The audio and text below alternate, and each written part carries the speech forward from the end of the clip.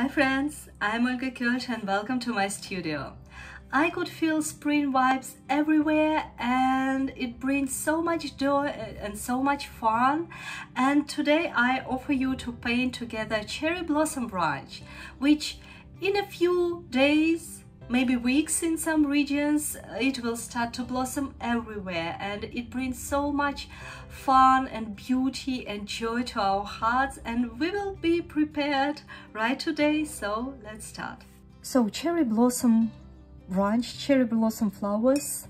I mix quinacridone rose with uh, some uh, yellowish and brownish colors right in my palette uh, to make this nice vintage feeling color. And I imagine that my branch will grow like, like this for example. So I just start to paint petals. Cherry blossom has uh, five petals and I add some very dark mixture in the middle randomly and combine it with lighter with lighter pink. I paint with the tip of the brush with the uh, belly of the brush. Very randomly what I need to remember is to keep a lot of white space in the petals to make the petals vibrant, light. And another thing I need to remember is just to add some variety. I emphasize the middle like this. So you see one one bud is ready. So next one I again I take my just dark brown brownish mixture. I let's repeat this. You make the uh, center of the flower just with some dots.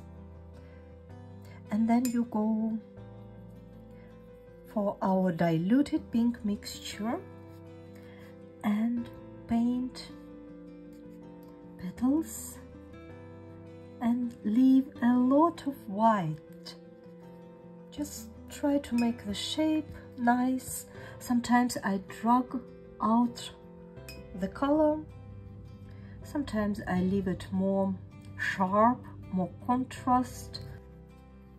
For example, here I would like to emphasize a little bit the darkness. I add a little bit of color here in the middle and I drag out colors. I drag out colors here to make it more tender. And the next one. Again some dots to show the middle. Our pinky dusty pinky mixture this time I would like to paint flower a little bit on that direction, looking to the left.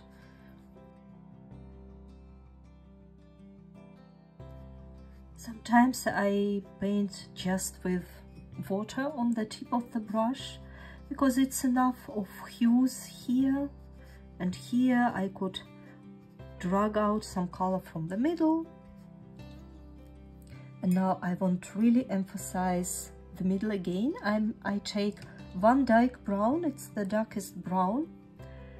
And add something in the middle. And again right here in these colors uh, in these buds. I like how it flows here. Now I want to connect um, our flowers and put them on a branch.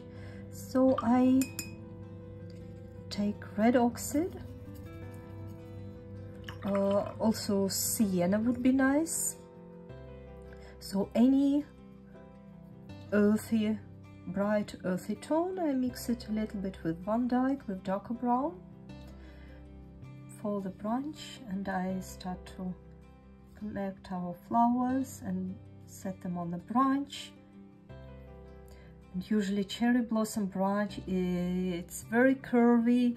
It has a lot of beautiful texture on it. So don't forget about this. Never paint branches straight like this or like this. The more curves you add the more artistic it will look like.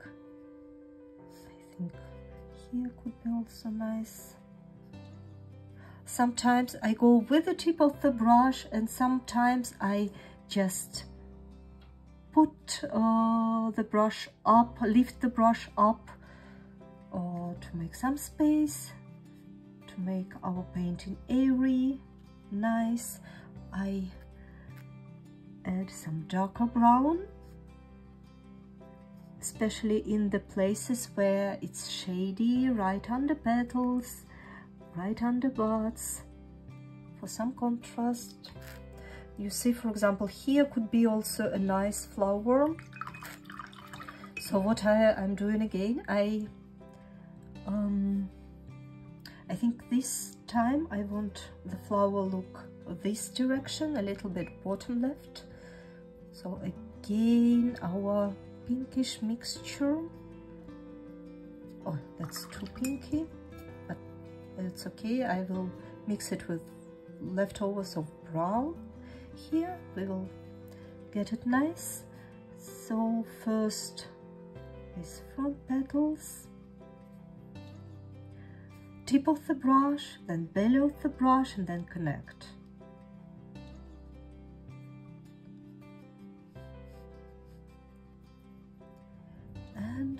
few petals which looks from from the middle. And I clean the brush and just drag out the color to remove this uh, brightness and contrast this unnecessary contrast. Like this some dark spots in the middle. And of course we need to paint branch a little bit here. Otherwise it looks a bit weird. And what else would be nice to do for example to make this composition? More beautiful to add some uh, closed buds. That's easy. Pink the tip of your brush, belly of your brush, similar as you would paint leaves, for example.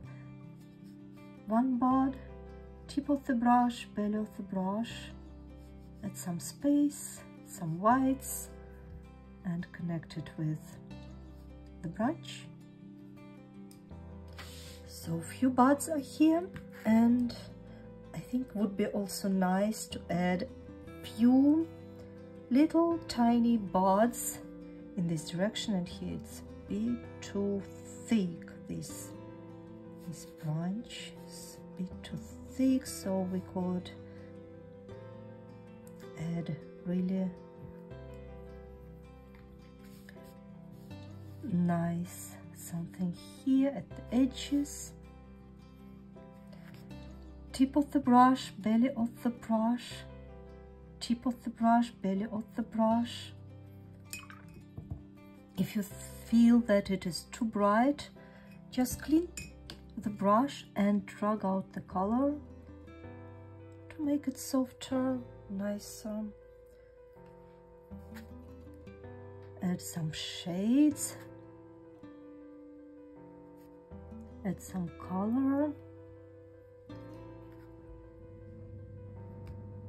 So it's about like this and um, let's add some leaves uh, to make leaves also uh, vintage looking I'm taking sap green which is very bright but I mix it with Van Dyke.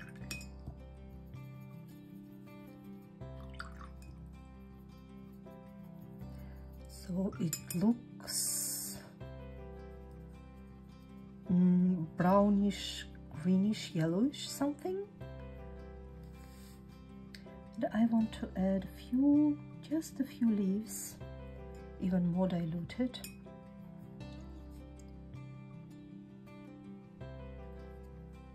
Like this. We do not make a lot of accent on the leaves. Tip of the brush, belly of the brush and let it go. For example, just here, the brush, belly